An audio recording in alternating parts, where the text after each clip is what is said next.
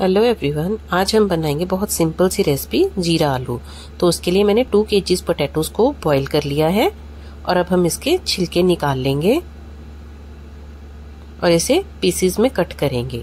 आपको किस साइज़ के पीसेस में कट करना है, वो टोटली आप पर डिपेंड करता है। लेकिन मैंने इस साइज़ के पीसेस में कट किया है, क्योंकि जब हम इसे मिक्स करेंगे तो थोड़े से पोटैटोज हमारे मैश भी होंगे। इसलिए मैंने थोड़ा बड़ा साइज़ कट किया है। इसी तरह हम सारे पोटैटोज के छिलके निकालकर इसे पीसेस में कट कर लेंगे।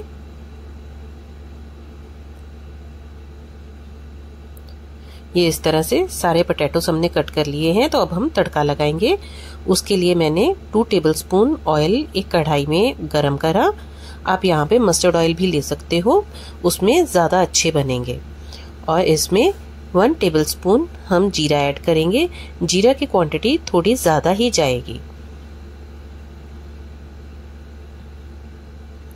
वन टेबलस्पून जीरा ऐड करने के बाद हम इसमें वन टेबलस्पून कसूरी मेथी ऐड करेंगे और वन टीस्पून अजवाइन ऐड करेंगे, क्योंकि अजवाइन स्टमक के लिए अच्छी होती है।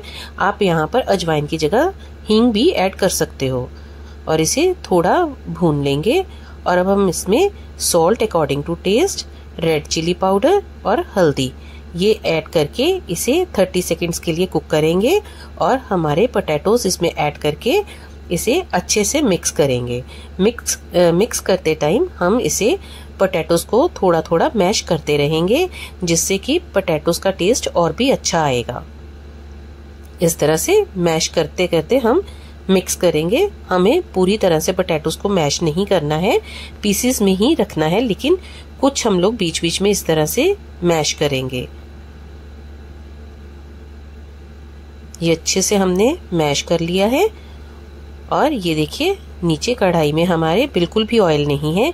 इसमें ज़्यादा ऑयल का यूज़ नहीं करना है।